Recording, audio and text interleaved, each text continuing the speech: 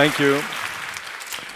Dear TEDx attendees, uh, my talk will be about a huge scientific innovation and breakthrough. It was recently published in a smoking hot journal for Cleaner Production, a whole special volume about my topic, which is strategic sustainable development.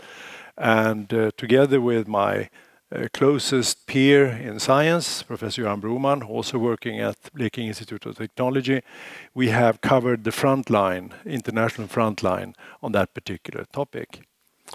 Now, the problem that I'm addressing is that uh, there was no definition of ecological and social sustainability, and that created chaos.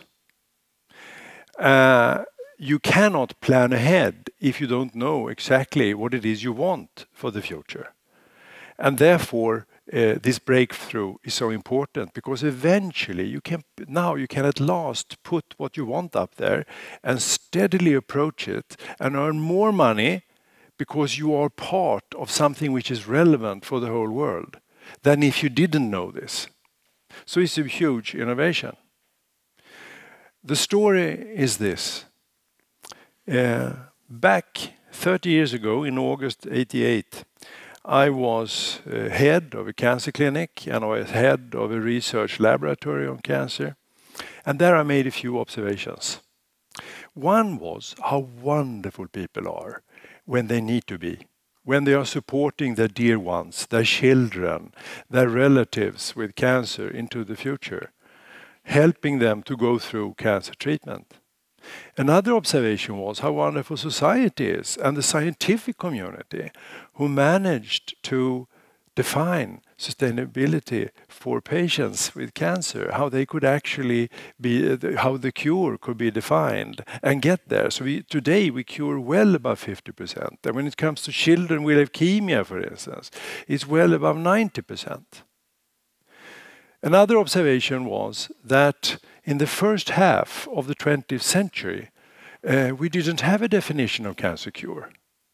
So what we saw was then was patients moving into a sort of funnel of declining life expectancy until it was over. And the funnel was draped or uh, dressed with numerous impacts from all over the place. It was fatigue, it was anemia, it was dysfunctional organ systems, it was all kinds of problems. But we didn't know how they were connected because we didn't know the root cause of uh, cancer. And consequently, we tried all kinds of tools, which was the next area of confusion. We tried transfusions and antibiotics and operating one tumor after the other away from the patient, but it didn't affect the funnel of declining life expectancy until it was over and we had lost. And then we didn't know how to cooperate either. We didn't know how to put pathologists and surgeons and medical doctors and nurses and social workers in the medical community into cohesive, coordinated action. And then the definition came. The root cause came by good science. Cancer evolves in one single stem cell, multiplying to two, four, eight, and they just keep growing until they take over the body system and it's over. And then the definition is naturally on the table as well. Now we can define cure of cancer. A, in the future, when the funnel opens up, we have managed to comply with the first principle. We have killed the last cancer stem cell, of course. And number two, but we have not killed the patient. And both needs to be complied with at the same time, of course. And suddenly everybody improved their research in their silos. So pathologists knew what they were going to do, and surgeons and medical doctors and nurses. And suddenly we could cooperate systematically to make it happen. I also made a few other observations. One was that the same kind of species, humans, behaving in this wonderful way when it was about one very complex issue, didn't do it for sustainability. The sort of textbook ABC didn't work. A is put a definition of what it is you want ahead of you. B, where, are, where am I today in relation to what I want? C, what are the optional moves? And then you can add a D. How do I stepwise use those moves until I reach what I want? You all do it, right? This is what we do in chess. You put principles of checkmate up there, and then you ask yourself repeatedly, how am I doing in relation to those principles? What are optional moves, and how would I like to distribute them to get there? Now you may think, well, isn't that a bit difficult to apply on sustainable development? Uh, chess, cancer secure. it sounds a bit difficult, doesn't it? Make no mistakes.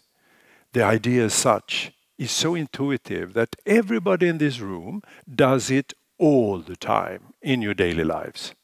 Let's say that you are, were born in Rome and you are going to move to Karlskrona because you've got the top job here that you're looking forward to. And now we're looking at your home move.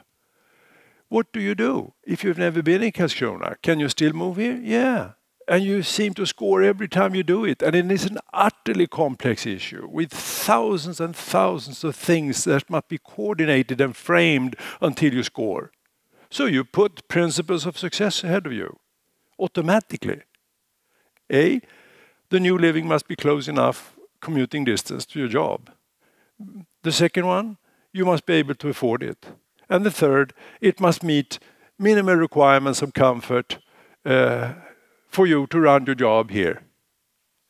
And then you organize every mod piece of modeling, every detail you do, so that you frame it in that way, including all your preferences and values, and you don't confuse those things with one another.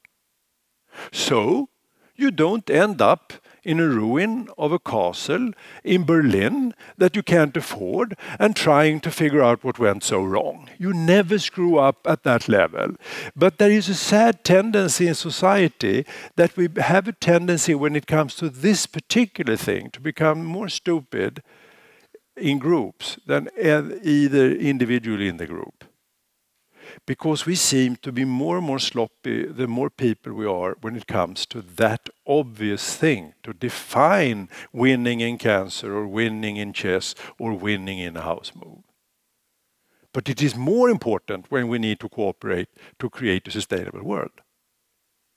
So I sat down one day by the computer, August 88, and I decided to try to find the opening of the funnel for much larger patient. Society suffering from the deadly disease, unsustainability.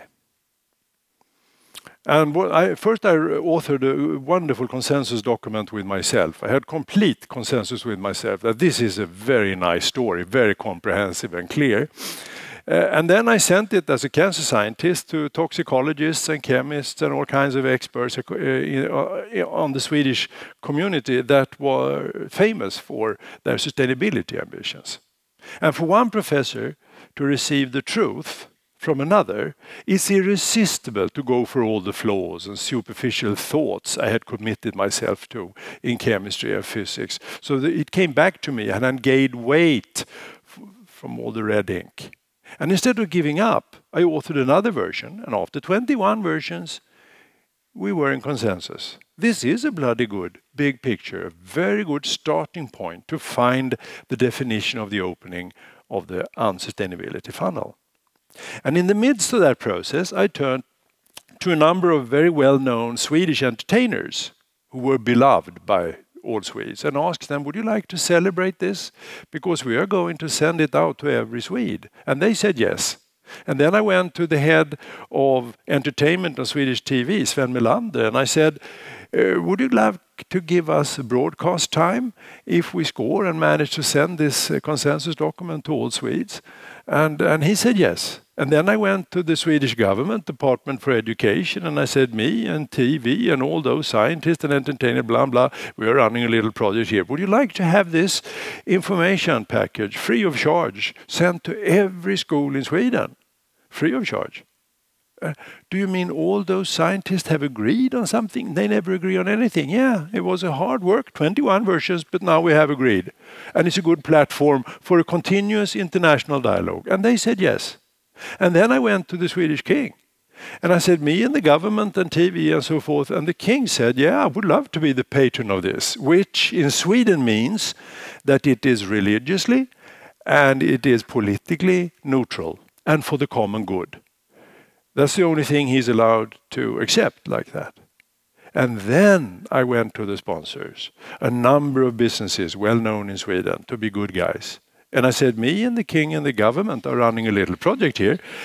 And in April 89, the mailbox opened up in every Swedish household and a little audio cassette equipped with a picture book, just like the one you can download next to my name, dropped down. And the impact was enormous. There were uh, discussions about this everywhere. I was in TV sofas every morning. I was in a hearing in the parliament together with my scientific colleagues behind this consensus report. And suddenly it spread all around the world. And today we have universities all around the world connected to Blekinge, which is my working place, uh, the hub of, of this international movement amongst universities. And we are testing it in one business after the other, one municipality after the other. And then we are refining the framework. And then we are testing it again in reality and then refining it. And at last, this is now published for the world to know. And um, I'm so happy then to be accepted for this TEDx presentation because it's a completely different thing to develop something like that uh, and create uh, number of businesses and municipalities working as laboratories for the testing, on the one hand, and then spreading it to the world at large on the other. I'm not even part of, of Facebook. Do you understand the problem I'm up against? So I'm so happy for this opportunity. Now I'm just going to show you a few slides. Um, I would like to have a little, yeah, okay, thank you. So uh, the first slide in the picture book that you can uh, download is just this one. Uh, uh, just presents my, my workplace.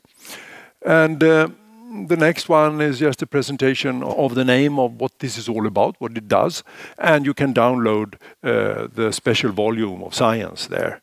But I would prefer that you uh, first download the picture book, uh, and then you can go deeper into any of the scientific articles of this special volume that I guest edited with Professor Broman. And then it tackles reductionism, which means confusion about details. We seek knowledge, but we drown in information about the impacts. And leaders today don't know how the impacts connect because they don't know the definition of sustainability. Nor do they know how all the tools that we could use, how they could be connected into a cohesive help in strategic uh, processes to sustainability because they don't know how to define the opening of the funnel, just like the cancer community didn't know how to use all the tools in medicine. And they couldn't cooperate in cancer. The same is true here. We need heads of state. We need executives in business. We need toxicologists, physicists, chemists. But how could we possibly cooperate if everybody arrives at the conversation with his or her story about sustainability? We need a sharp definition of checkmate, cancer cure, or moving into another house. And now we're going to moving into a sustainable home. And then we need to share something which is robust for planning and designed accordingly. The next slide just says that this can at last be done, and the framework is called the Framework for Strategic Sustainable Development. And you can read what is said under that slide. And then, of course, we had to develop this uh, by starting at that jewel in the universe that we inhabit together. And we asked ourselves, why do we have a funnel there in the social system and in the ecological systems? What are the basic mechanisms of destruction, the root causes of destruction, like we found the root cause of cancer? And not until then could we define the opening of the funnel. And we only discovered three ways of destroying it.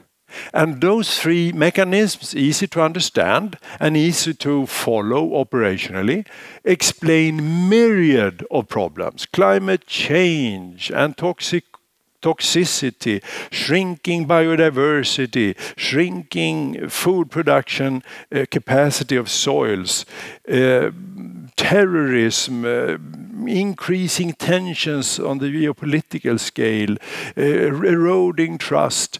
All those impacts can be explained if you understand the basic mechanism of destruction of the ecosystem, and you can read more about that under this slide. Uh, so the definition is there at last. And then we have the social system as important. And at the level of the system, it functions through trust. There is enough trust in general between people, not only between cousins or relatives, but there is a general sense of trust. And that can be ruined by various kinds of abuse of power along uh, five different dimensions. So also social sustainability is now defined by operational principles. And now you recognize the funnel, how you can make sense of all the problems with declining forests, cropland, and that long list. And you can define, because you understand the opening of the funnel. This slide explains that this is the best way of improving your bottom lines in business ever invented because this is about survival issues. And believe me, survival issues are very convincing in the end. So the demands for survival help from sustainability point of view are just increasing as we speak on the markets. And there are now growing numbers of bankruptcies for people who didn't understand this in time, and success stories from organizations who did. And therefore, we should do it systematically. The ABC of curing this patient. And if you do it that way, now you can make use of all the tools, which is another source of confusion. And now you can cooperate. Because if everybody do their ABCDs by the same boundary conditions of sustainability, they can at last cooperate. Which is now happening around the world. Now you can make use of the United Nations sustainability goals because you can cross-read them with your own ABCD and see what you have forgotten and what you like to add. And now you can use the, them strategically. And final slide is that more and more organizations are doing this. This is downloaded from the homepage of Eindhoven. Remember, if you do it this way, moving from on a bridge towards full sustainability, because you know what it is, it is more fun, it is more helpful, it is more economically rewarding than any other alternative. So please download the picture book and see how you can be part of this extremely important endeavor. Thank you.